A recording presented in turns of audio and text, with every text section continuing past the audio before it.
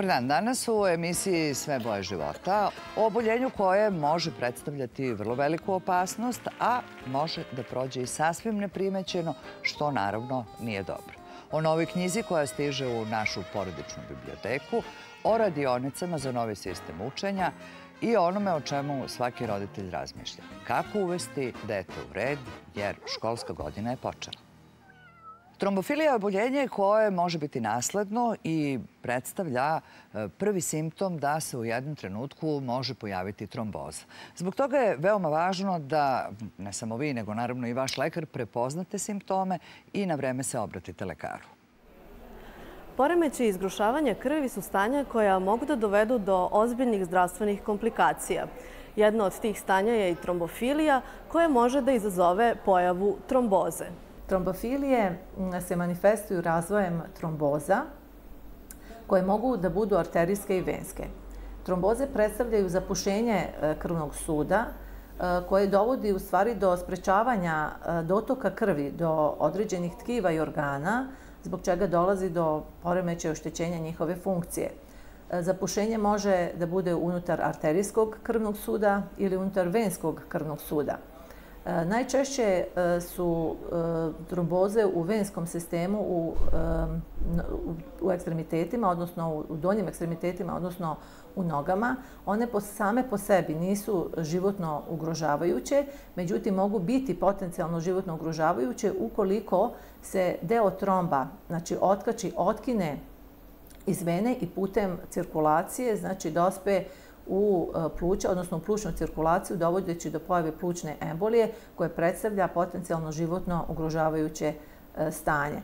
Ove tromboze najčešće se razvijaju kod osoba e, koje su recimo u stanjima mirovanja, odnosno imobilizacije, na primjer nakon hiruških intervencija, naročito ortopedskih hiruških intervencija. Drugu grupu čine arterijske tromboze, Najčešće arterijske tromboze su znači infarkt miokarda i cerebrovaskularni insult, odnosno e, šlog. E, ove tromboze su praktično životno ugrožavajuće i jako je važno e, da se u slučaju ovako osetljivih tkiva kao što su srce ili mozak reaguje jako brzo terapijski da bi do, došlo do što manjeg oštećenja tkiva. Trombofilija ne mora biti isključivo nasledna bolest i može se javiti u bilo kom životnom dobu. Uzrok zbog kojeg se javlja je nekada bio poznat kod samo 17 procenata slučajeva, dok je taj procenat sa razvojem medicine danas porastao na oko 50. U određenim životnim stanjima, kao što je trudnoća, može izazvati ozbiljne komplikacije kada je neophodno primeniti adekvatne terapijske procedure. Terapija se naravno određuje i u odnosu na vrstu kao i stepen oboljenja slučaju kada imamo pacijenta kod koga e, slučajno e, pronađemo prisustvo e, nekih, neke od trombofilija, te pacijente ne treba da lečimo. Znači, ne treba da im damo odmah terapiju, izuzev ukoliko ne postoje određena stanja koja preisponiraju razvoj tromboza. Tim pacijentima samo pokušavamo da objasnimo kakav treba režim života da vode u smislu adekvatne ishrane, umerene fizičke aktivnosti, uzimanja dovoljne količine tečnosti, jer i sama dehidratacija pravi, povećava, da kažem, tako gustinu e, krvi i pravi sklonost ka trombozi, dok u slučaju kada već e, kod osobe koja ima trombofiliju, kad se već razvije tromboza, e, onda naravno lečenje zavisi od toga gde je tromboza lokalizovana. U slučaju arterijske tromboze, recimo infarkta miokarda ili u slučaju cerebrovaskularnog insulta, primenjuje se e, fibrinolitička terapija kojom se u stvari razara postojeći tromb i praktično uspostavlja normalna cirkulacija. Drugu grupu lekova čine antikoagulantni lekovi koji se koriste u lečenju bolesnika sa venskom e, trombozom. To su znači lekovi koji su inhibitori vitamina K. E, ovi lekovi se uvek primenjuju nakon e, venskih tromboza. Najčešće se primenjuju bar šest meseci nakon razvoja tromboze, ali kod nekih pacijenata, recimo, koji imaju višestruku trombofiliju, imamo pacijente koji imaju istovremeno više različitih defekata, odnosno više trombofilija, i više različitih faktora rizika, čak se antikoagulantna terapija primenjuje e, doživotno. I treću grupu lekova e, čine antiagregacioni lekovi. E, ovi lekovi se koriste u prevenciji arterijskih tromboza, Oni se koriste za prevenciju recimo razvoja infarkta miokarda cerebrovaskularnog insulta ili naravno u sekundarnoj prevenciji kada je već neko imao neku trombozu, e, oni se koriste u cilju sprečavanja nekih ponovnih tromboza, odnosno recimo ponovnog infarkta ili cerebrovaskularnog insulta. NTSC sistem učenja nije nepoznat i celog leta su postojale radionice, naravno za deči uzrast i to za decu od 5 do 8 godina. Kakve prednosti takav sistem učenja pruža deci kada se nađu u školskoj sredini? Mensa Srbije je ove godine e, organizovala nekoliko, da kažem, serija radionica za decu od predškolskog uzrasta do, recimo, kraja ovog mlađih e, razreda osnovne škole na razne teme i sa ciljem uglavnom da se razvije, da kažem, proces učenja, razne veštine, kreativnost kod dece. Radionice su se odvijele i u Beogradu i u Novom Sadu u našim prostorijama. Počeću od Novog Sada. Koleginica koja je tamo radila u saradnji sa Gradskom bibliotekom Novog Sada organizovala e, radionice pametno čitanje za najmlađu populaciju. Zapravo kroz čitanje bajki i obradu, kroz razgovor, analizu i neke kreativne aktivnosti vezane za te bajke, razvija se ljubav kod dece za čitanje i to je, smatramo, jako važno u današnje vreme kad sve manje dece ima ljubav prema knjizi. U Beogradu smo opet jednu grupu naših vrlo kreativnih nastavnika e, okupili da organizujemo radionice za decu e, na razne teme. Recimo imali smo radionice od e, crtanja do programiranja koje su razvijale algoritamski način razmišljanja kod deci i kroz igru su ih pomalo uvodili u svet programiranja i to bez kompjutera, vrlo zanimljivo. Znači, uz neke robotiće koji su kao igračke deci poslužili za razvoj tog načina razmišljanja. Takođe imali smo radionice kojima smo ispratili Međunarodni dan nauke.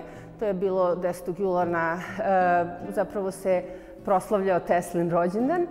I ovaj, e, takođe bili su e, nauka u svemiru, radionice koje su koristeći tehnologiju u savremenu omogućile deci iz Beograda da posete preko Skype-a muzej u Njujorku i da saznaju kako izgledaju space shuttle-ovi da razgovaraju sa stručnjacima NASA. Znači razne neke interesantne stvari i sve su to propratili e, kreativnim aktivnostima koje bi sledili posle tog, da kažem, teoretskog dela koji je bio vizuelni, znači gledanjem filmova, razgovorima i tako dalje. Imaćemo za predškolce i za prvake takozvanu kreativnu školicu uspeha u našim prostorijama u Domu omladinu u Beogradu, gde se takozvanim kinestetičkim učenjem, odnosno učenjem kroz pokret, dakle uključuje se i telo i mozak, i na taj način se lako deca opismenjuju i lako usvajaju gradivo i to gradivo onda kod njih ostaje trajno usađeno, znači nije onako kao kad se uči ponavljanjem, mnogo je dubinskije to znanje. E, takođe očekujemo isto ove radionice od crtanja do programiranja i uopšte uzevši u planu nam je da započnemo sa dečijim klubom. Znači to bi bile neke redovne radionice koje će pratiti interesantne teme, aktualne teme i naravno uključivati što više e, fizičkog aktiviranja dece i planinarenje na avalu i obilazak nekih muzeja, čak biće i takvih radionica koje su van Beograda, kao što planiramo da odemo do muzeja u Kikindi i tako dalje. Znači, to je sve jedan program koji je tek u povoju i koji će početi u septembru i bit ćemo vrlo srećni da nam se zainteresovani roditelji jave. Uvek će na našem sajtu i na stranici na Facebooku Mensa Srbije biti blagovremeno obaveštenje o tim radionicama.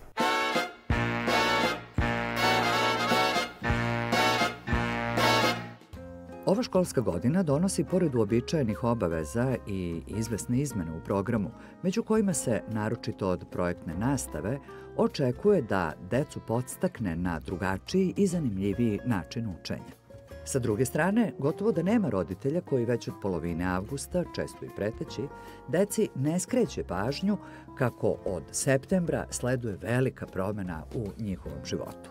Deca uglavnom znaju šta ih čeka I jedini radoznali, pomalo neobavešteni, su prvaci, čiji će odnos, bar kako kažu psiholozi, prema školi zavisiti kako od učitelja, tako i od stava roditelja. Mislim da je ta emocionalna strana svega ovoga najvažnija, a to je da je ovo jedan jako značajan događaj u životu svih nas. Verovatno svi dobro pamtimo kako izgledala učionica, gde je bila učiteljica, da li nam se možda neko i dopao tog prvog dana. Mislim da je roditelji kao modeli šalju jako važnu poruku i što oni budu smireniji i predoče detetu zapravo polazak u školu kao jedan značajan događaj, ali pre svega jedan lep događaj, jedan događaj koji će ostaviti i obojiti verovatno emocije za možda trajno ovaj, kroz njihovo školovanje, mislim da će time preneti jedan mir na dete. Ukoliko postoje neke navike koje se upražnjavaju redovno tokom dugog perioda, to je da dete na vreme ode na počinak, na spavanje, da doručkuje, da ima neku obavezu, onda mislim da i taj prelaz jul, avgust pa na septembar i nije tako drastičan i nije tako težak za dete. A opet sa druge strane treba da imamo u vidu da ovo jeste jedna od najznačajnijih promena sigurno u životu iziskuje veliku adaptaciju i deteta i roditelja. Tako da smatram da je ta emocionalna podrška najvažnija, poštovanje dogovora i preporuka učiteljica, pa i vaspitača koji jako dobro pripreme decu i moram da priznam da i mi uočavamo velike razlike između dece koja dolaze iz određenih vrtića, vrlo su različito pripremljeni ovaj, na polazak u školu. Neka deca već dođu pripremljena onako i prilično ambiciozno uđu u školsku godinu. Mislim da nastavnici vrlo dobro uoče drastične promene kod neke dece I uvek je taj 1. septembar, kao što je Duško Radović nekad govorio da je svaki, ovaj, svaki kraj neki početak, ovaj početak je uvek šansa da se neke stvari poprave, da se unaprede, da budu bolje i mislim da ih tako treba ishvatiti. Ovo je jedna šansa da dete napreduje, da iskoristi ovaj početak za unapređenje kapaciteta koje već ima, ali to se ne odnosi samo na dete. Često zanemarujemo porodicu. Dete je ipak član primarne porodice i ovo je šansa za celu porodicu da napreduje i da zapravo podrži svoje dete u, u razvoju. Stvari nekad treba pojednostaviti koliko god možda deluju komplikovano. Broj jedan je osamostaljivanje deteta. Pa onda ja kažem par praznih mesta, pa onda možemo da pričamo o drugim stvarima koje treba naprediti. I to roditelji uvek treba da imaju u vidu. Isto kao što mislim da je prioritet pre svega ličnost deteta, jer to je dugoročna investicija za ceo život. Nedostatak eventualno u nekim znanjima se najlakše nadoknati. Postoje velike individualne razlike. Nekom detetu je potrebno malo više vremena, bitno je da roditelji budu uporni, dosledni i da budu podržavajući. To je jako važno, da dete kroz ovaj period ne prođe traumatično. Onda su dugoročne posledice vrlo ozbiljne, a ako roditelj bude podržavajući, ako pokazuje razumevanje, ako naravno postoji ta saradnja koja je neophodna između učitelja i poverenje i roditelja i deteta, verujte mi da tokom te prve godine a, skoro sva deca se uspešno adaptiraju na polazak u školu.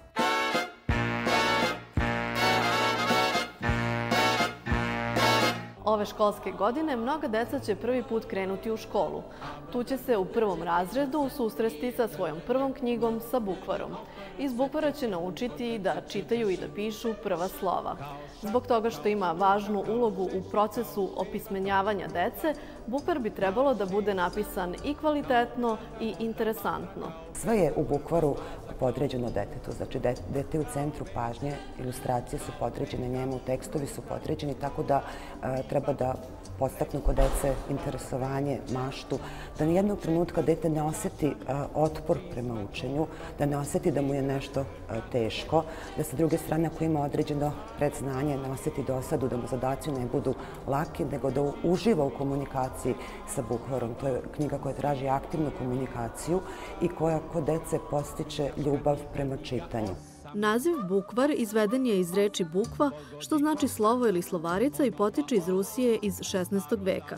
Jedini poznati i sačuvan bukvar iz vremena srednjovekovne Srbije štampan je u Veneciji 1597. godine. Pripremili su ga iguman jeromonah Stefan i Inok Sava. Štampan je u dve verzije, istog sadržaja, ali različitih dimenzija i sloga i jedan primjerak ima Narodna biblioteka Srbije u Beogradu.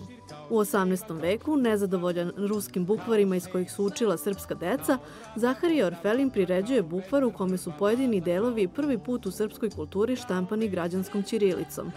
Krase ga vinjete, inicijali i zaglavni ukrasi, a tekst je na stranicama štampan unutar okvira uz dvobojnu crnu i crvenu štampu.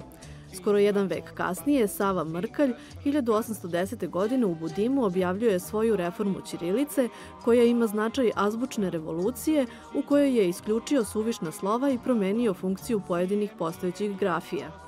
Na temelju te reforme Vuk Stefanović Karadžić sprovodi reformu šest slova srpske ćirilice i u trećoj deceniji 19. veka štampa bukvar na narodnom jeziku reformisanom srpskom ćirilicom – Najznačajniji bukvar u 20. veku je bukvar za osnovne škole u Kraljevini Srbiji, čiji je autor učitelj i pedagog Stevo Čuturilo.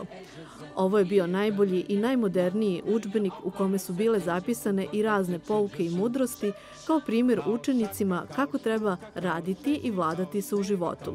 Bio je u upotrebi skoro četiri decenije, a preštampan je i na krfu 1916. godine za vreme Prvog svetskog rata. Kada je reč o pedagoškim metodama učenja pisma i čitanja, najraniji trag o srpskim slovima, njihovom grafičkom liku i ortografskim pravilima pronalazimo u spisu Povest sačinjena o slovima Konstantina Filozofa.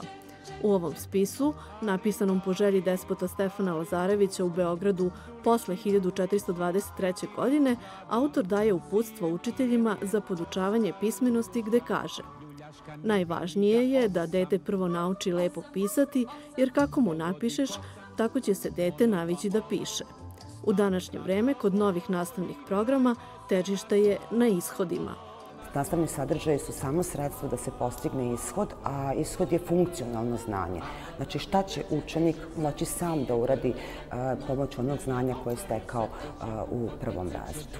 E, konkretno, kada je reč o učenju pisanja, nema više, da kažem, onih zahteva koji su detetu zamornje, koji nisu funkcionalni, da se recimo kao što smo mi nekada pisali čitav jedan list u sve se ispuni pravim linijama ili kosim linijama, što je sasvim nepotrebno jer to isto dete može da uradi kroz neke druge zadatke, recimo da dovrši, da dovrši crtež gde treba da dovrši recimo tarabe ili da nacrta šare na ćilimu e, i radi se na tome da se što više insistira na razumevanju teksta. Starije generacije se sigurno sećaju da je nekada u školama postojao predmet lepo pisanje, odnosno krasnopis – Danas, u vreme novih tehnologija, kada sve više kucamo na tastaturama i sve manje pišemo rukom, lepo pisanje se više ne neguje.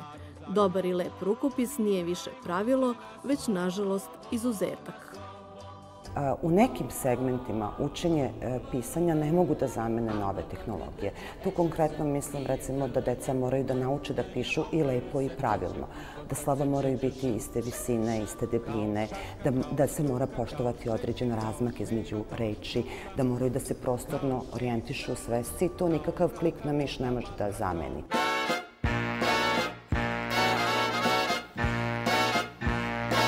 Izložba Srpska leksikografija od Vuka do danas predstavlja glavnu prateću manifestaciju 16. Međunarodnog kongresa slavista i e, sa velikim ponosom mogu da kažem da je to verovatno prva izložba rečnika koju smo mi do sada imali i to ovako u jednom galerijskom prostoru. E, izložba ima više ciljeva. E, prvi cilj jeste da se naravno osvetli veliki praznik srpske kulture. To je 200 godina od objavljivanja prvog izdanja Vukovog srpskog rječnika 1818. godine.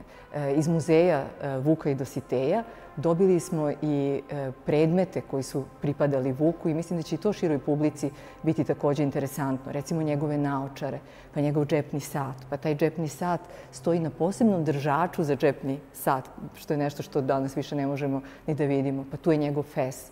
A ono što je posebno zanimljivo jeste da se ovde kod nas, sada u ovoj galeriji, nalaze i predmeti koje je Vuk svojom rukom deljao i tako je objašnjavao kopitaru šta zapravo označavaju neke reči koje je on kopitaru objašnjavao. A to je nešto što je mene, inače moram da priznam, od uvek interesovalo kako je taj, taj susret između Vuka i kopitara izgledao kad Vuk tu tršićku kulturu koja je predstavljena u prvom izdanju rečnika, sa svim onim predmetima, alatkama, oružjem i tako dalje, objašnjava jednom Slovencu u Beču i kako je on te sad predmete, kako je on njemu objašnjavao o čemu se radi, još uvijek ne zna dobro nemački jezik.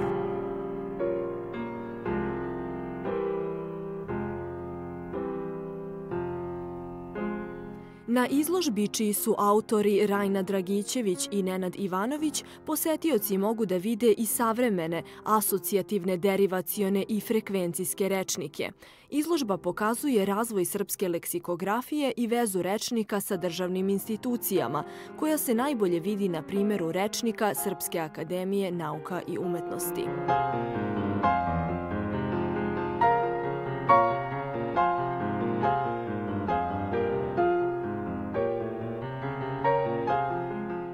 Ono što je posebno možda interesantno i za širu publiku jeste kako je Srpska kraljevska akademija poslala krajem 19. veka poziv srpskom narodu da šalju reči iz svojih krajeva i da te reči uđu u e, veliki rečnik. Gotovo svi koji su bili pismeni slali su svoje male, velike, zbir, velike zbirke reči i nekoliko stotina zbirki reči se nalazi u Srpskoj kraljevskoj akademiji i dan danas se one čuvaju taj entuzijazam našeg naroda vidi se e, kroz ove zbirke koje smo mi ovde i predstavili. Izložbu koja traje do 7. septembra prati specijalna muzika koju je komponovao Aleksandar Marković.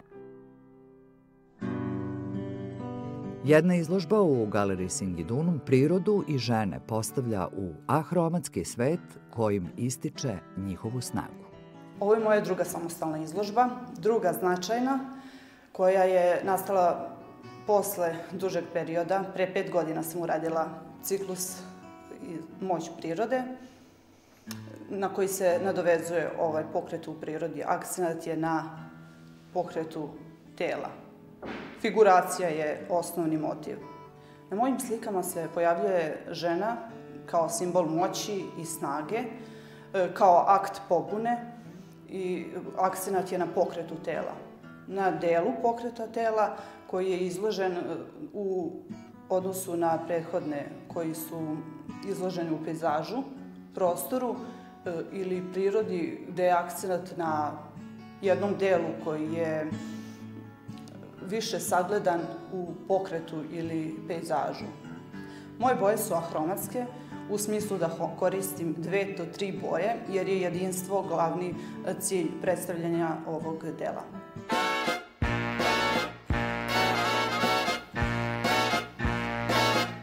Znamo da je turska kultura dosta uticala na našu, pa nam je zato dosta toga i zajedničko. Ali koji su to običaji po kojima se Turci izdvajaju? Türk e, kelimesi sadece tek bir ırkla Identifikovati turski narod samo sa jednom nacijom bilo bi potpuno pogrešno.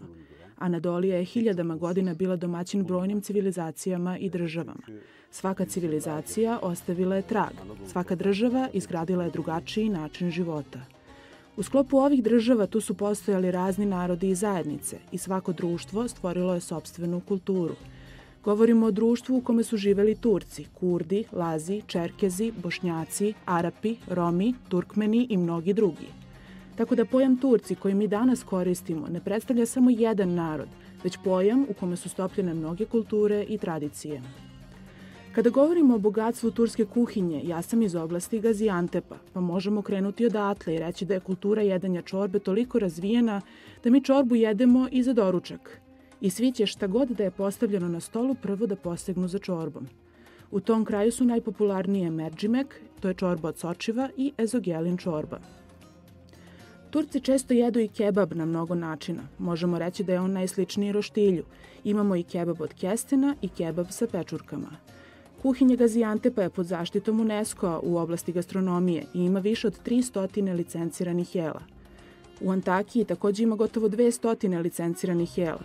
Ovo su oblasti koje su najviše bile izložene vizantijskim, selđučkim, arapskim i osmanskim uticajima. Opšte gledano svaka oblast razvila je svoju kuhinju u skladu sa proizvodima koje najviše uzgaja, a izuzetak su Istanbul, Izmir i veliki gradovi drugih regija gde imamo kulturu u kojoj su stopljeni elementi iz svih krajeva. Slično tome svaku oblast odlikuje i drugačije razumevanje kulture. Tako na istoku imamo tradicionalni pristup narodnim običajima, dok je zapad moderniji. Globalizacija utiče na sve. Međutim, turski čovek, uprko svim globalnim uticajima od nekih tradicija, ne odustaje.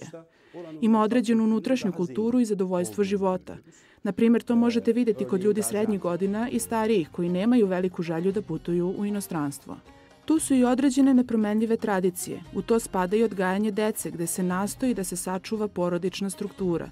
Od običaja koji datiraju iz davnina, tu su dani okupljanja žena koji potiču još iz vremena kada one nisu bile uključene u društveni život, a imale su potrebu da se na neki način organizuju, izraze i osete pripadnost u društvu.